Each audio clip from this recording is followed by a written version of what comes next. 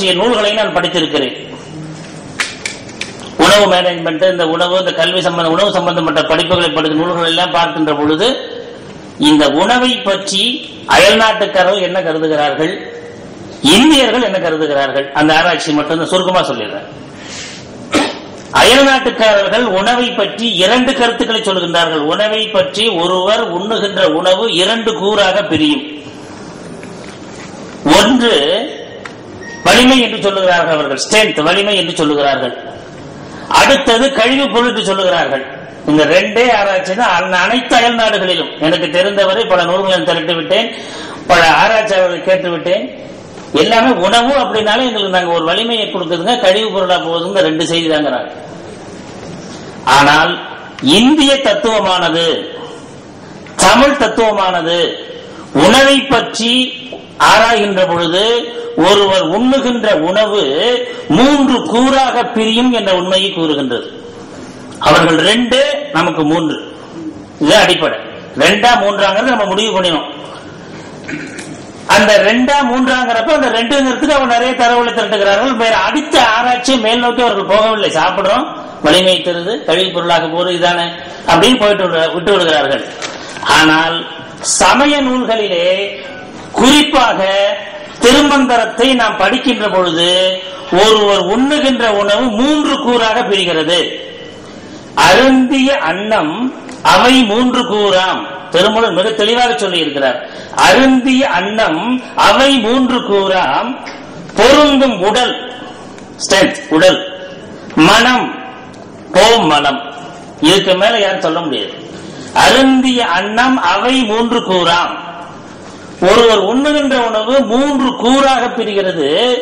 ஒரு கூறு உடல் இன்னொரு கூறு மனம் இன்னொரு கூறு கழிவுப்பொருள் ஆக நாம் உண்ணுகின்ற உணவு மனமாக மாறுகிறது என்பதை இந்திய தத்துவம் நமக்கு விளக்கிச் சொல்கின்றது.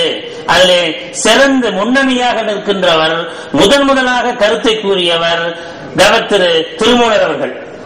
அதுக்கு அடுத்த பாடல் வேற ஏதாவது சமய நூல்கள்ல நான் தேடி பார்த்தா கிடைக்கல. தத்துவராய அடிகளார்னு ஒரு அருமையான ஒரு அறிஞர். சசிவண்ண போதம் என்ற நூலை எழுதியிருக்கிறார். சிவஞான போதம் நமக்கு தெரியும். அதே மாதிரி மிகச்சிறந்த ஒரு நூல் சசிவண்ண போதம். அது வழக்கற்று இருக்குது. மிக அருமையான ஒரு நூல் எதுனா சசிவண்ண போதம். தத்துவராய அடிகளார் எழுதியது. அவர் என்ன சொல்றாரு? அழகா பாடி இருக்கிறார் ஒரு கூறு மனமாகும். ஒரு கூறு உடம்பாகும் ஒரு கூறு மலமாகும் உண்டற்ற அன்னம். அவரும் அந்த உண்டற்ற அன்னம்ங்கிறார். திருமூலர் அந்த கிட்டத்தட்ட உண்டற்ற அன்னம்ங்கிறாரு. ஆக நமக்கு அவங்க ரெண்டு நமக்கு மூன்று. திருமூலர் அது தத்துவராய அடிகளார் அதற்கு அடுத்தது நான் வர இது ஆதாரம் சேர்க்கணும். உடனே பகவத்கீதைக்கு போறேன். சமய நூல்கள்ல பகவத்கீதையை பார்க்கின்ற பொழுது இந்த பதினெட்டு அத்தியாயங்கள்ல ஒன்று குணவிகார அத்தியாயம். கிருஷ்ண பரமாத்மா அர்ஜுனுக்கு சொல்லுகின்ற பொழுது அற்புதமாக சொல்லியிருக்கிறார் அர்ஜுனா மிக முக்கியமான ஒரு செய்தி சொல்லணும். ஒருவர் உண்ணுகின்ற உணவு மனத்தோடு தொடர்புடையது. இதை மக்கள் யாரும் புரிஞ்சுக்கிறது இல்ல அந்த உணவு தான் மனமாக குணமாக மாறுகிறது. அதனால உனக்கு ஒரு அத்தியாயம் ஒதுக்குறேன். குணவிகார அத்தியாயம் சொல்றேன். இந்தந்த உணவு சாப்பிட்டேன்னா இந்தந்த மனம் உண்டாகும் இந்தந்த குணம் உண்டாகும் அப்படின்னு பகவத்கீதையில் சொல்லிட்டார். ஆமா. அதற்கு அடுத்தது தமிழ்ல பகவத்கீதை இருக்கு. உடனே அதை எடுத்து பார்க்கிறேன் ஸ்ரீ பட்டனாரும் தமிழ் பரமார்த்த குரு தரிசனம்னு ஒரு அருமையான நூல் எழுதியிருக்கிறார். தமிழ் பகவத்கீதைனே பேரு. அவரும் அதை வழிமொழிகிறார் அந்த பகவத்கீதையை பின்பற்றி.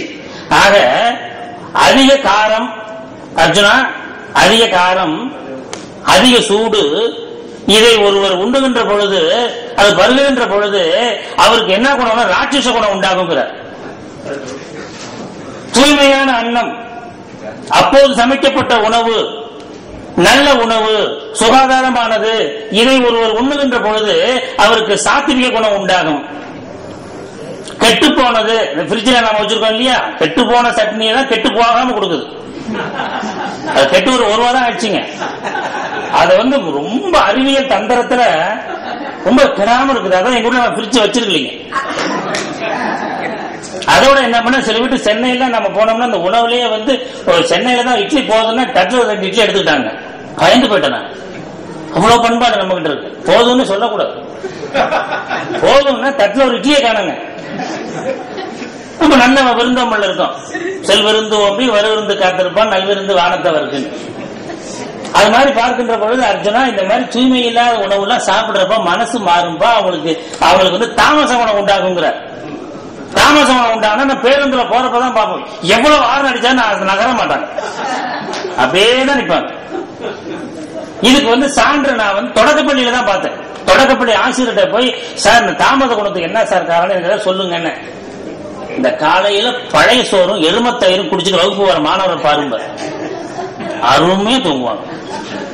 அந்த தூக்கத்தை வந்து யாராலையுமே தடை செய்ய முடியாது.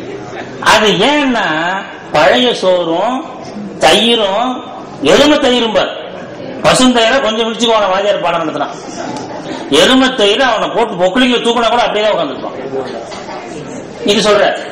ஆக அர்ஜுனன் சொல்லுகின்ற பொழுது ஒருவர் உண்ணுகின்ற குணத்தால் சாத்விகம் உண்டாகிறது. கிருஷ்ணன் கிருஷ்ணன் சொல்றாரு ராட்சசம் உண்டாகிறது தாமசம் உண்டாகிறது. அதனாலே நாம் என்ன பண்ணுகின்றோம் நீ நல்ல நல்ல உணவுகளையும் சுகாதாரமான உணவுகளையும் இது உண்ண வேணுங்கிறார் இதுக்கு சான்று நீங்க கேட்கலாம். இந்த சபையில சொல்லணும்னா சான்றங்க தந்தையார். நூற்றி ஒரு வயசு. தெரிஞ்சிருக்கும் தமிழறிஞர் நடிகராசிரியர்னு. அவர் சொல்லுவார் தம்பி இறப்பை நல்லா வேலை செய்யுதும்பார் இதான் சாப்பாடு கொடுறான்னு அர்த்தம். பசிக்குதுன்னு சொல்ல மாட்டார். இறப்பை நல்லா வேலை செய்யுது. அப்படின்னா ஏதாவது கிடைக்குமா? நேரம் ஆயிடுச்சு ஒரு மணி ஆயிடுச்சு. அப்படிம்பார். அவர் என்ன உணவுன்னா கீரை பசுந்தயிர் பசும்பால் இது மாதிரி எளிய அழகான தூய்மையான நல்ல உணவை தான் சாப்பிடுறாரு. அதனாலதான் அவரு அவருக்கு எனக்கு ஓட்டப்பந்தயத்தை அவர் ஜெயிச்சிருவாங்க உண்மையிலே எப்படியாவது கூட நேரத்தை பிடிச்சிருவார் அது உணவு தான் சொல்றார். நான் அருமையான உணவு எளிமையான உணவு தூய்மையான உணவு. இதை சாப்பிட்டு நூ- நூத்தி ஓரு ஆண்டுகள் நான் இந்த தமிழுக்கு தொண்டு செய்தி இப்போ தொல்காப்பியத்தில் தொடைகள்னு ஆராய்ச்சி பண்ணிட்டு இருக்காருங்க. செம்மொழி மாநாட்டுக்கு முதல் கட்டுரை ஆரம்பிச்சார் நூத்தி ஒரு வயசுல. முதல் முதலாக தொல்காப்பியரும் கலிப்பாவும் கட்டுரையில் வெளியே ஆரம்பிச்சார். எல்லாருக்கும் தெரியும். அவரே தான் எனக்கு சாட்சி. இந்த மாதிரி உணவு சாப்பிடு இந்த மாதிரி உணவு உணவு வந்து மனத்தோட தொடர்புடையது. மனத்தினால குணம் உண்டாகிறது. அதனால உணவிற்கும் மனத்திற்கும் குணத்திற்கும் தொடர்பு இருக்கிறது. அதனால ஒவ்வொருவரும் நல்ல உணவை உண்டு. நம்மளுடைய வாழ்நாளில் சிறந்த பண்புகளை உருவாக்க வேண்டும் என்று அவர் கூறியிருக்கிறார். அப்புறம் இன்னொரு செய்தி இன்னொரு செய்தி மட்டும் சொல்றேன்.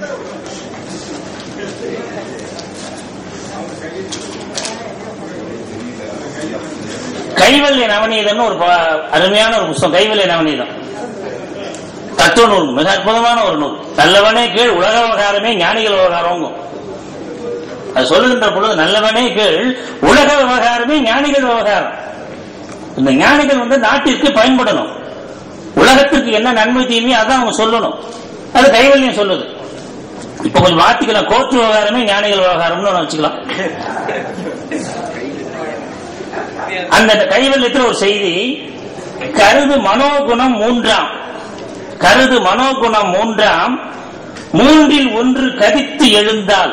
இந்த மூன்றுல ஒன்று எழுந்திருச்சுன்னா எழுந்திருச்சுன்னா கறந்து நிற்கும் தருமமிகு சத்துவமே. மூன்று குணம் இருக்கு. ஒவ்வொருத்தருக்கும் மூன்று குணம் இருக்குப்பா.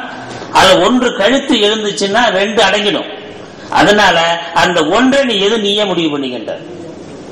ஒன்று மூன்றில் ஒன்று கடித்து எழுந்தால் மற்ற இரண்டும் கறந்து நிற்கும். கறந்துன மறைந்து நிற்கும்.